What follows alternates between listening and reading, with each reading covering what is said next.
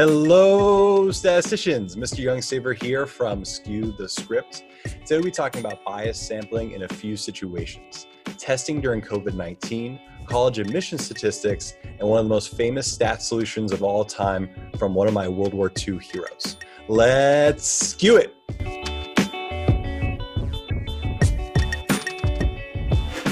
Today's lesson is on bias sampling and conducting a simple random sample. This is lesson 4.1 in our course sequence.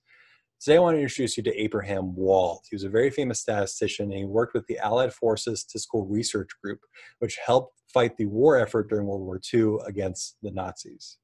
Abraham Wald is a hero of mine, not just as a statistician, but as a person. He grew up in Hungary and he was Jewish. He escaped Europe before the start of the Second World War Unfortunately, his family was not as lucky.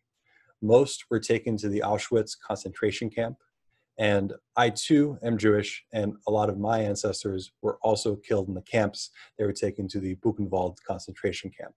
And so Abraham Wald, while working in the United States, wanted to help the war effort, and particularly, he didn't know what had become of his family, and he wanted the war to end as quickly as possible so that potentially he could save his family members.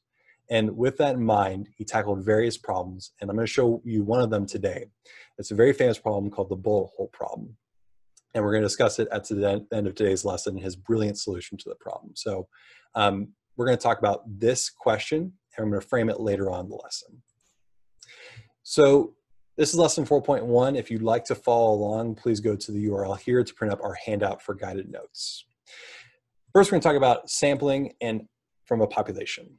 Here's a population. It's all individuals in a group. And if you want to figure out an aspect of the population, one thing you can do is do a census. That's when you collect data on every individual in the whole population. Censuses, though, are very hard to do. It's hard to find every single person, and it might just take a while. So instead, most of the times, if we want to estimate something in population, we get a sample. A sample is a subset of individuals in the population that we can easily measure and then make inferences about the whole group. Because it's hard to measure everyone, it's usually easier to do inferences. And this is the study of statistics, the study of using samples to make inferences about populations. Now, there are good ways and there are bad ways to do this sampling. And we're going to talk about some bad ways first. Um, so one statistic a lot of colleges report is their job placement rate. Many mm. colleges advertise their school by sharing the percent of their graduates who are hired full-time and or pursuing further studies in graduate school. And we're going to look at the legitimacy of these statistics and see are they being misleading potentially. This is Southwest Tennessee Community College. And going to a community college to your school, there are several sets of good outcomes you'd want for your students. You can graduate with an associate's degree, a two-year degree, and get or trade certificate. Um, you might transfer to a four-year university and take your credits along with you, or you might immediately get a job after your two years in your field of study. The homepage of the website for this college at the time that I accessed it has this boast. Our overall graduation placement rate is 98.5%, with 91% working in their field of study. Pretty high rates. So the language is a little bit vague here, but my best guess is that means that 98.5% of the graduates transferred to a four-year university or found full-time work. That's what I'm assuming. But note how they frame it. 98% of graduates. That's really key here. It's a graduation placement rate. It's just of the graduates. So let's think about how they're doing their sampling. If you're sampling only the graduates from all the population of students who enter the school, that raises the question, how many students didn't successfully graduate or successfully transfer? So thankfully, by law, most colleges have to report graduation transfer rates, and that data is publicly accessible at this website here. So I went on that website and I found out the stats. Overall, 27% of students, just a little bit more than a quarter student, had one of these outcomes, the ones who entered in to this community college. Only 1% received a certificate within eight years of entering the college. 11% received an associate's degree within eight years. 2% enrolled, were still enrolled in the same institution after eight years. And 13% were able to enroll or transfer to a different institution within that time. So yes, maybe a high portion, 98.7% of students who received their associates graduated, got jobs. But the other 73% that's not covered here, who knows what happened to them? This is an example of bad statistics, BS, because you're cutting the data to make things look better than maybe they actually are. This is bias. Bias is a study flaw that leads to unrepresentative and or inaccurate estimates. And specifically, this is undercoverage bias. That's when part of the population has a reduced chance of being included in the sample. In this case, what was undercovered was the students who did not graduate. We don't know what happened to them. Let's look at another example of this. This is Rogers State University in Oklahoma. This is a four-year university. They happen to award both uh, two years associate degrees and four-year bachelor degrees. In a recent report, Rogers State University found that 75% of graduates were pursuing another degree or had found full-time employment by their final semester. Now, something's going on here with the of graduates, but I want to focus on a different type of bias here. How does the university collect this data? How do they find this data out? Well, they use surveys. And the same report that I got that statistic from shows that the response rate to the university's question survey that is sent out to the graduates is only 20%. It's only about a fifth of people they sent the survey out to actually bother to reply.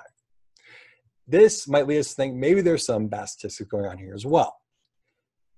How could bias in this sampling method affect the estimate? Well, this is an example of non-response. When individuals have chosen for a sample, chosen for example, choose not to respond. This leads to bias if those individuals differ from all the rest of the respondents. So let's talk about how the bias might look in this case. And when writing about a sampling bias, there should be three things you're doing. One, identify the population in the sample. Two, explain how the sampled individuals might differ from the general population. And then three, explain how this leads to an over or underestimate. So let's do this in this case. How could bias in the sampling method have affected Rogers State University estimate? So let's identify the sample in the population. The population is all graduates of Rogers State University, and the sample they got is just the graduates who responded to their survey. So that's what it kind of looks like.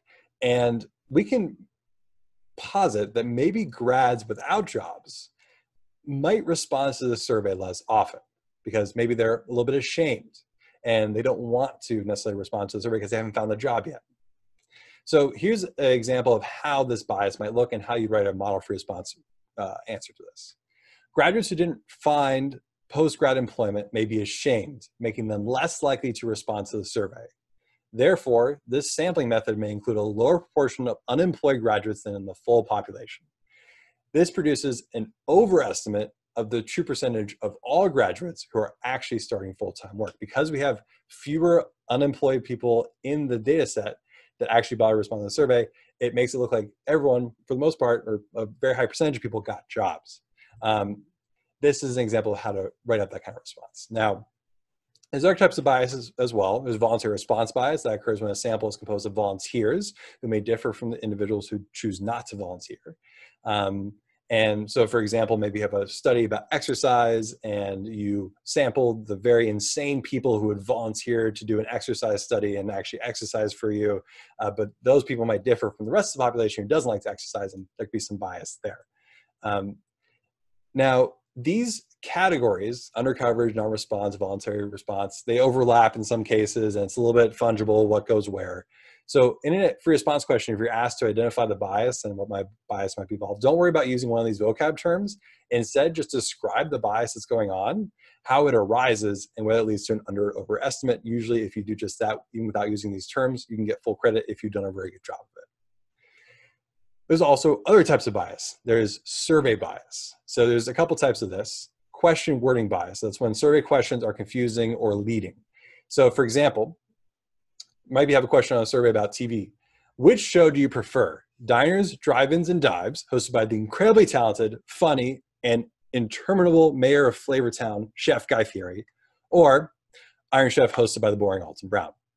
Obviously, that question is very misleading. A lot of times it's a lot more subtle than that, but look at survey questions and make sure they're not leading or uh, show favoritism uh, in this case. Of course, Guy Fieri, we all know is better than Alton Brown, but yeah, let's, let's at least keep it fair. Now, self-report report response bias arises when individuals inaccurately report their own traits. So for example, a survey question might ask me, Mr. Youngsayer, how much can you bench press? And I would say, of course, I bench press 350, 350 pounds. I can't actually do that, but I might lie. Or sometimes self-reported bias is not even lying, it's just unintentionally not knowing, and so you put something down because you don't really know. So that's another bias that could arise. Again, don't worry so much about the vocab, worry more about describing the bias and where it comes from does lead to an over and underestimate. Now let's talk about one way we can avoid bias, and that's through a simple random sample. In order to avoid bias, you must randomly sample. And one simple way to do this is through a simple random sample. That's a sampling method in which every possible group of individuals in the population has an equal probability, an equal chance of being selected for your sample. Now, let's look at an example in COVID 19. When COVID 19 spread to New York City, the city only provided tests to people who showed symptoms. However, with this virus, some infected people don't show symptoms. So the sampling method leads to an underestimate of the number of people infected because you're not testing anyone who doesn't show symptoms but might still be infected. So it was a biased sampling method. And so we were underestimating the number of people in the population that might have COVID-19, which can lead to devastating effects because you might open things up early without there being reason to.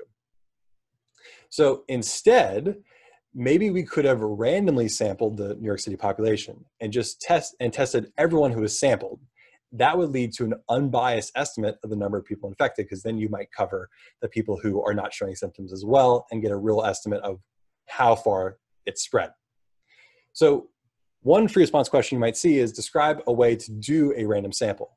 So describe how you implement a simple random sample of 1,000 New York City residents to test for COVID. When you're describing a simple random sample, here are three things you should do. Assign each individual population uh, in population a number, a unique number to them.